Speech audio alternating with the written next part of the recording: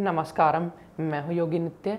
आज मैं आपको घी के बारे में बताऊँगा। घी के बारे में बहुत सारे लोगों में बड़े बड़े डर फैले हुए हैं, भ्रांतियाँ हैं, कुछ मन में गलत धारणाएँ लोगों ने बिठा दी हैं। मैं किसी की निंदा नहीं करता, लेकिन मैं आपको आयुर्वेद के हिसाब से बताऊँगा, क्योंकि कुछ सप्ताह पहले मुझे एक व्यक्ति ने कमेंट किया कि आपकी सारी नॉलेज अच्छी है, लेकिन आपको घी के बारे में कोई नॉलेज नहीं है। आप लोगों को घी खाने को कह रहे हो, घी से तो कोलेस्ट्रॉल हो जाता है। मैंने उस बात को थोड़ा पढ़ा तो सही, लेकिन उस वक्त जवाब नहीं दे पाया, क्योंकि समय की कमी थी। तो अब मैंने सोचा कि घी के बारे में बताऊँ। देखो, आपको कोई गलत गाइड ना कर दे कि, अरे, तुम्हें पता नहीं है, और आप कंफ्यूज हो जाओ एकदम। ऐसा डरने की ज़रूरत नहीं है। जिन लोगों ने मॉडर्न मेडिकल साइंस को या उन लोगों को ज़्यादा पढ़ते हैं, सुनते हैं, वो लोग तो यही कहते हैं कि घी बिल्कुल ही कट कर दो अपनी लाइफ से, कोई ज़रूरत नहीं है। पर आयुर्वेद ऐसा कहता है कि घी के बिना आप जीवित नहीं रह सकते, इतना ज़रूरी है। माने जो बंदा बिल्कुल घी बंद कर देता है, उसके अंदर जो धातु की मजबूती है, शरीर में देखो आँखें परमात्मा ने दे दी, कान परमात्मा ने दे दिया, दिमाग परमात्मा ने दे दिया, ये बाकी चीज़ों से चल भी जाएगा। आप दिमाग के लिए बादाम खा लो, आँखों के लिए बादाम खा लो, दिमाग के लिए अखरोट खा लो तो चल जाता है। लेकिन इसके जो आँखों की रोशनी है, जो शक्तियाँ नज़र नहीं आती, जैसे दिमाग की काम करने की शक्ति है, ये नज़र तो नहीं आती, दिमाग नज़र आता है, इसी तरह आँखों की रो, देखने की शक्ति है। आँखें नज़र आती हैं, लेकिन देखने की शक्ति को आप नहीं देख सकते, वो तो अंदर है। तो ये जो कानों की, आँखों की, सूंघने की, ये जितनी शक्तियाँ हैं, इन सबको पोषण ये ही करता है। घी को आप ये मत समझ लेना कि मैं भैंस का घी कह रहा हूँ। भैंस का घी भी अच्छा है, जिन्होंने अपना शरीर बनाना है, वो जिन लोगों को थोड़ा कसरत व्यायाम तगड़े होना है, वो भैंस का घी खा सकते हैं जो दुबले पतले हैं। लेकिन घी की जब बात करते हैं आयुर्वेद में तो ज़्यादा प्रेफर गाय के घी को करते हैं। गाय का भी नहीं, देसी गाय का। तो देसी गाय का घी यदि कोई व्यक्ति हार्ट की ब्लॉकेज भी है ना, उसमें भी खाए। ऐसा आयुर्वेद कहता है, क्योंकि वो धीरे धीरे धीरे धीरे कोलेस्ट्रॉल को कम करता है। कोलेस्ट्रॉल की दवाई है ये गाय का घी। तो आप इसको ना समझें कि आपका कोलेस्ट्रॉल बढ़ा देगा। कई लोग मेरे पास आते हैं और मैं बोलता हूँ, जी, घी खाते हो? क्योंकि उनको वात दोष होता है, उनको गैस रहती है हर वक्त।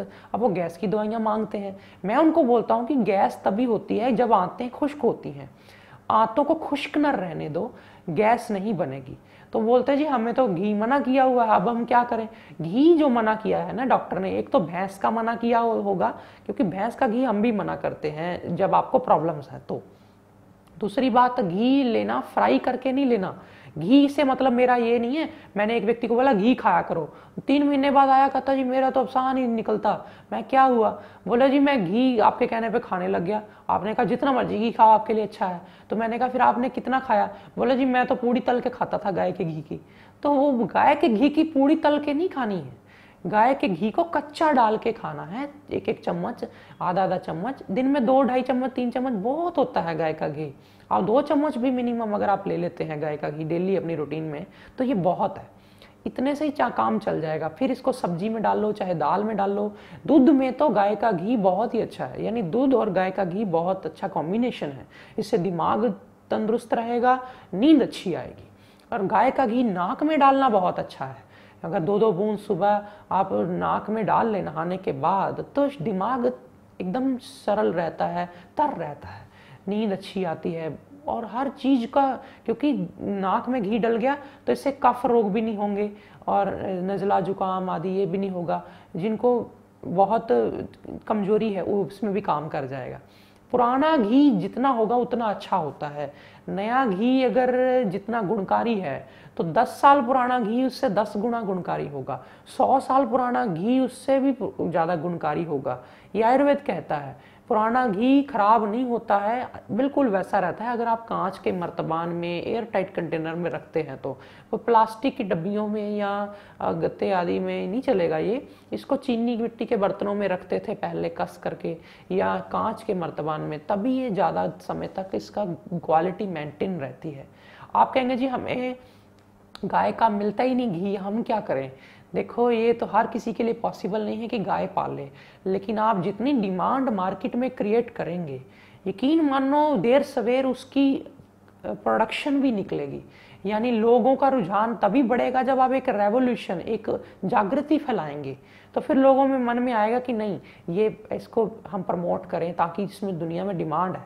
जिस चीज़ की डिमांड उठती है ना धीरे धीरे उसकी प्रोडक्शन भी शुरू हो जाती है, ये बात ध्यान रखना।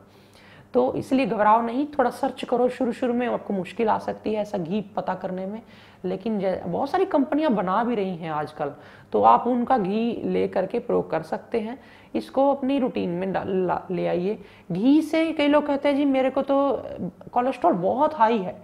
बहुत हाई है तो आप बाकी ऑयली चीज़ें बंद करो, तेल बंद करो या कम करो।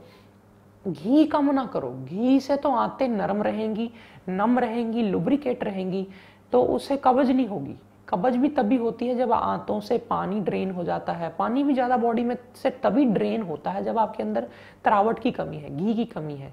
तो घी एक ऐसी चीज़ है जो आयुर्वेद में कितनी जगह यूज़ होती है।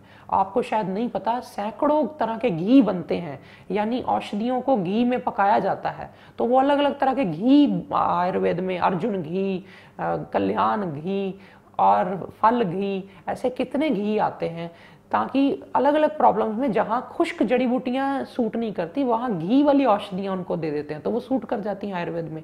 इसलिए अगर मना होता तो आयुर्वेद में खुद ही मना कर देते। घी ना तो गर्म है, ना बहुत ज़्यादा ठंडा है। शीत वीर्य ज़रूर है हल्का ठंडा है, लेकिन जिनकी प्रकृति ठंडी है, जैसे कफ, नजला आदि रोग हैं तो उसमें भी घी, अगर पुराना घी दे दो थोड़ा एक सीज़न पुराना अगर आप घी लेके रख दें, उसको अगले सीज़न में यूज़ करें। इस बार ना सही, इस बार ना सही। अगली बार के लिए इस बार लेके थोड़ा रख दो अगर आपके पास इतनी गुंजाइश है।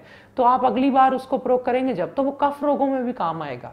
तो वो मिर्गी में भी काम आएगा, कमज़ोरी में काम आएगा, पुराने बुखार में काम आएगा। वही घी जो नया है, वो इतना गुणकारी है, गुणकारी, लेकिन इतना नहीं, लेकिन पुराना हो जाए एक सीज़न तो फिर तो उसका और भी ज़्यादा फ़ायदा बढ़ जाता है।